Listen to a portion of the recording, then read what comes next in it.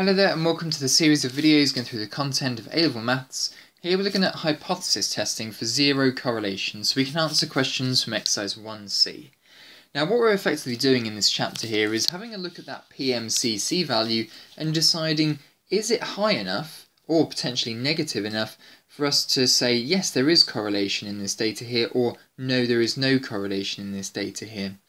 Um, it matters how much data we have as well. So the um, value at which we're going to accept correlation is dependent upon how much data we have in our data set as well. And we have a big chart to tell us what does the PMCC need to be for us to say, yes, there is correlation, or no, there is no correlation.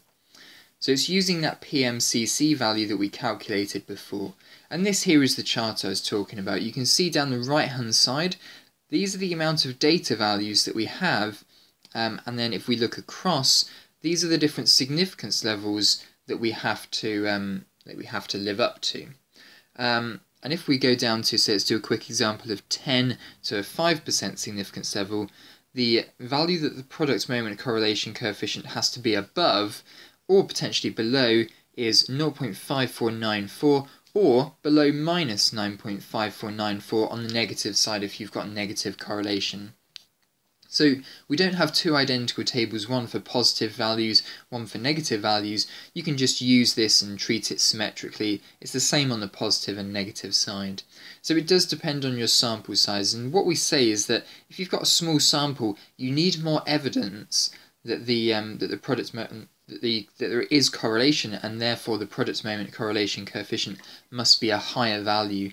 If you've got a larger set of data, um, then and it's fitting in line only to about a 0.3 um, PMCC value, then that is enough evidence for us. So the more evidence, more data points you have, the less kind of evidence you need that they are forming a straight line. The fewer data points you have, the more evidence you need that they are um, forming a straight line. So in this question here, we have a question about a scientist who takes 30 observations of the two ma of masses of two reactants in an experiment. She calculates the PMCC value to be R equals minus 0.45. The scientist believes there is no correlation between the masses of the reactants.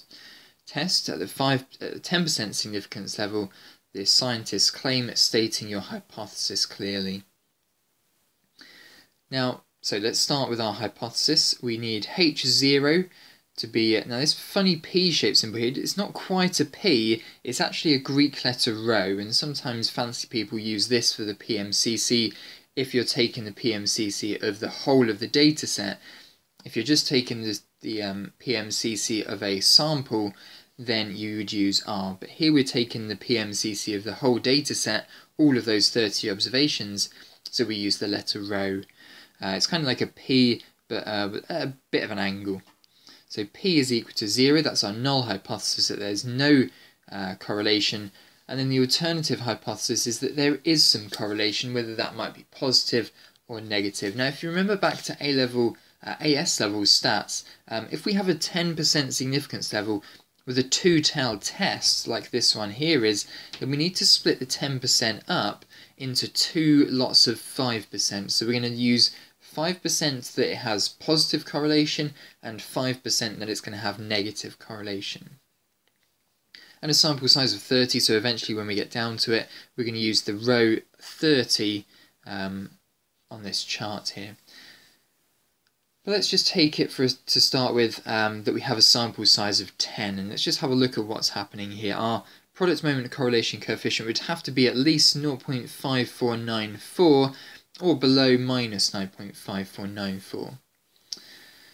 Okay, uh, if it was, um, if it was, so this, yeah, this is what's happening here. We have a sample size of 10, 0.5494 is that critical uh, value both in the negative and in the negative and the positive side.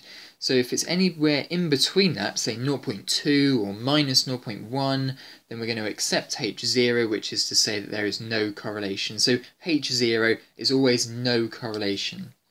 Outside of that region, either below 0.5494 or above 0.5494, we can reject H0, which is to say we accept the alternative hypothesis, which is that there is some correlation here.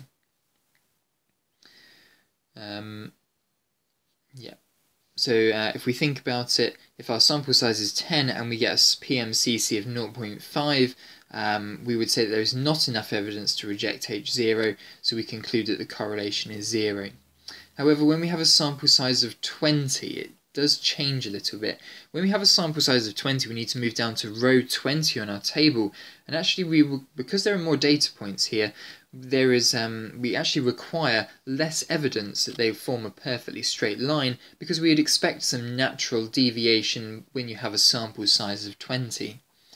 So here, if we had a PMCC of 0.5, we would actually say this time we would actually reject H0 and accept the alternative hypothesis that there is some correlation. So with the same PMCC value, um, when it's a smaller sample size, we are going to have more of a chance of accepting no correlation, but when it's a larger sample size, we don't need as much evidence, and there probably is more likely going to be correlation in that data. So with a larger sample size, there is a larger critical region where the original hypothesis will be rejected. In our sample, in a very small sample, um, if our sample is very small, it is very difficult to be sure about a hypothesis, so we generally reject them. With a larger sample size, we can be more sure that our answers reflect true population's data. So, let's get back to our question now. We had a sample size of 30. So, in this case here, it was 0.3061 that was the critical value to say, yes, there is correlation, or no, there isn't correlation. Because 0, minus 0.54 is outside of that um, boundary from 0.3061 to minus 0.3061, we say that um, the scientist, based on the scientist's data, there is enough evidence to reject H0 and conclude there is correlation between the two reactants. So just a reminder here, because we were working at the 10% level, but it was a two-tailed test, we had to use the 0.5 column because there would be 0.5 um, kind of probability on each end. This table here has been calculated by some very clever mathematicians who would we don't need to go into the detail of where this table has come from, um, but uh, it's, it's one we're going to use. It's in the back of the formula booklet. Okay, moving on to the final question then. The table from the large data set shows a daily maximum gust x in knots and a daily maximum relative humidity y in percentage in Leeming for a sample of 8 days in May 2015. Find the PMCC of this data. If you do it on your calculator, you get 0.0, no, sorry, 0.1149. Test at the 10% significance level whether there is evidence of positive correlation between the daily maximum gust and the daily maximum humidity. State your hypothesis clearly. Now, this one here is slightly different to the previous question because it's not a two-tailed test we are hypothesizing in the alternate hypothesis that there is positive correlation, or in other words, that R is a positive value, or rho is a positive value. So in this case here, we're going to use this significance level in each tail of, uh, of in the tail of uh, 10%. We're only going to be looking for positive correlation. So in this case here, where we have 8 as a sample size, we actually require 0.5067 to be the critical value at which we are either accepting or rejecting correlation. In this case, because r is clearly much lower than 0.5067, we are going to accept h0, and remember, accepting h0 is to say that there is no correlation. You always have your null hypothesis as no correlation, your alternative hypothesis will be yes, there is correlation. Right then, your turn to have a go at this question here. Then you'll need your calculator to work out the product moment correlation coefficient. So pause the video and try this question out.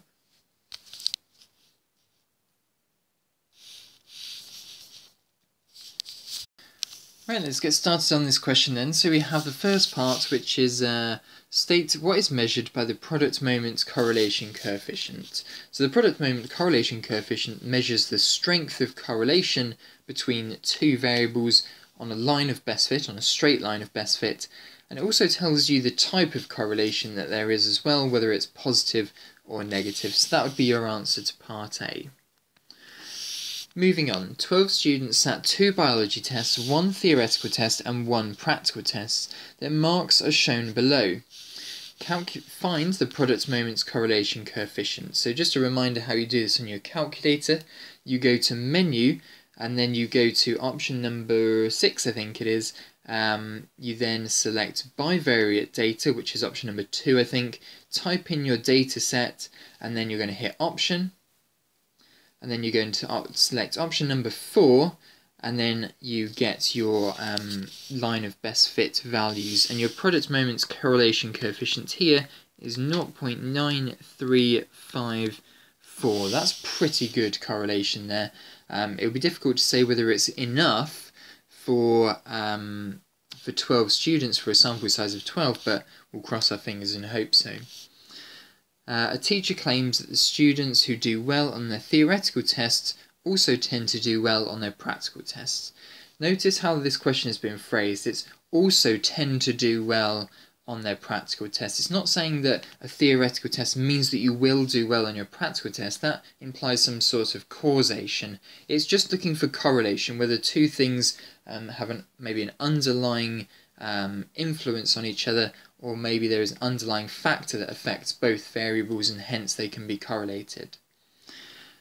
Part C is test at the 5% significance level your hypothesis clearly. Well, let's go and grab those tables then. We are looking at the 5% significance level, and the hypothesis here is that students tend to do well on the theoretical test, also do well on their practical test. So it's clearly stated in that question then that the alternative hypothesis is going to be a greater than 0 um, PMCC. So we'll use in the um, initial hypothesis is r equals 0. The alternative hypothesis is r is bigger than 0. And then to the 5% significance level, the critical value,